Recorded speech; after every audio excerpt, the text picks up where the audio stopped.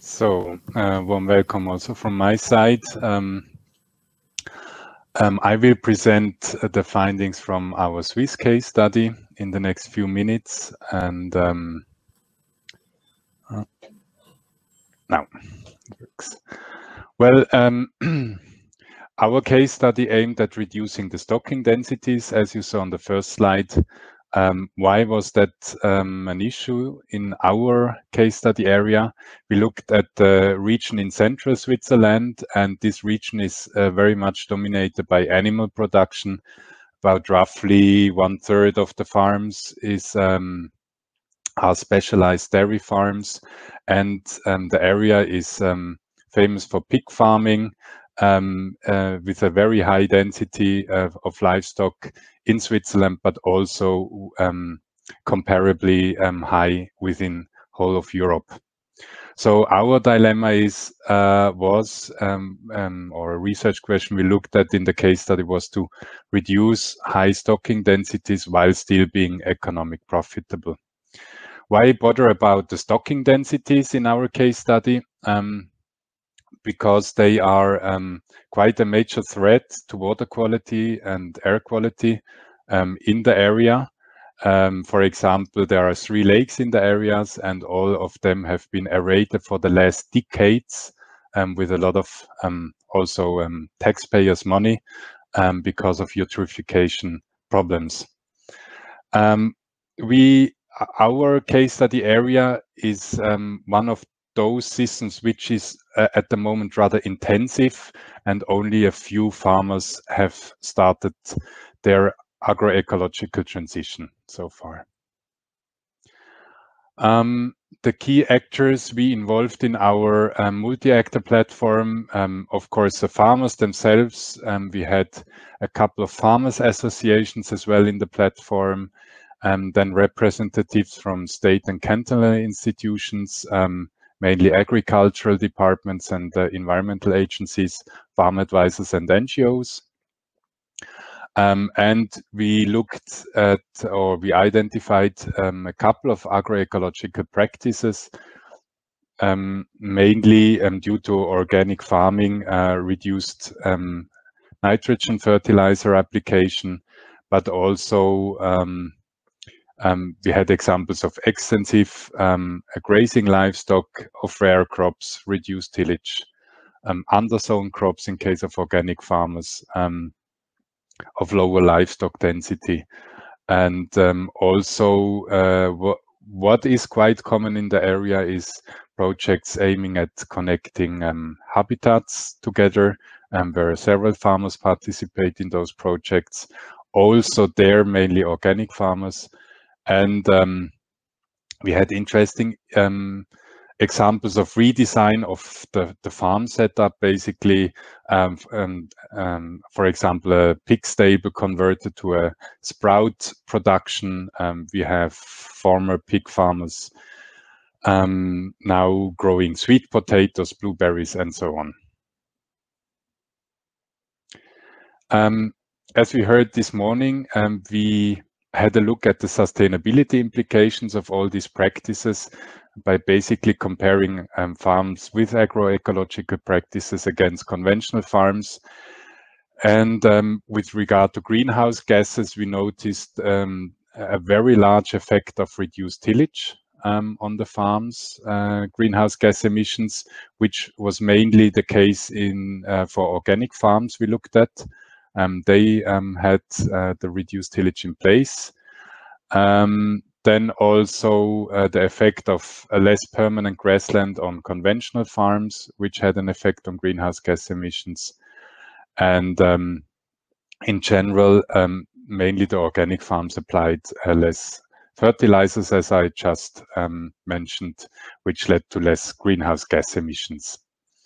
Um, not surprisingly, um, biodiversity scored higher in our um, sustainability assessments for the organic farms because uh, of the pesticides and because they make use of rare breeds and rare crops. Um, but there are also some independent factors um, uh, like um, tree habitats, which played a role in the biodiversity scores. Overall, you can see in this um, polygon from SMART, one of the tools we applied, that the difference between organic farms and conventional farms, um, or the this displays the range um, of the farms, is not so um, high in our case study. Um, so um, we said organic farms perform very well with regard to environmental issues. So is everything fine?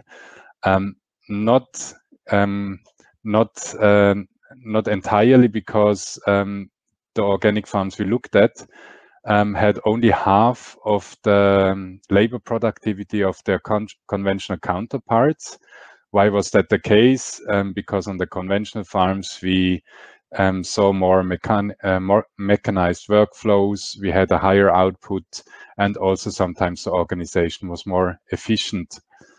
Uh, we played around a little bit more with the thought um, of this economic viability and tested what would happen if we now would convert um, a pig farm we assessed um, uh, to a farm growing fruits instead.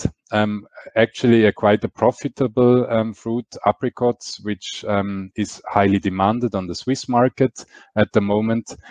And um, but still, um, even with such changes on the farm, um, some farm income will be lost. At least in the case we modeled, although it's still positive.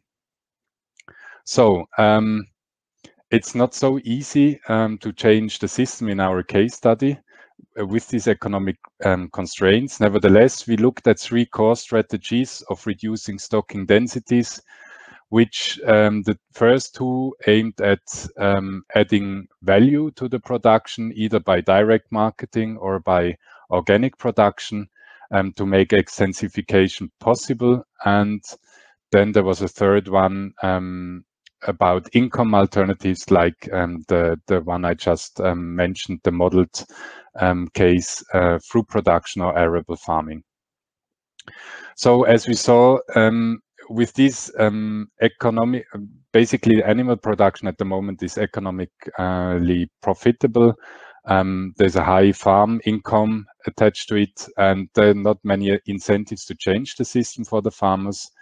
So in the longer term, it might need um, also external factors um, like stricter laws, um, but at the moment there are um, fiercely contested by the farmers. Um, so um, in the middle, in the medium term, it also um, needs kind of a transition to also broaden the acceptance of income alternatives by increasing the availability of knowledge about these income alternatives.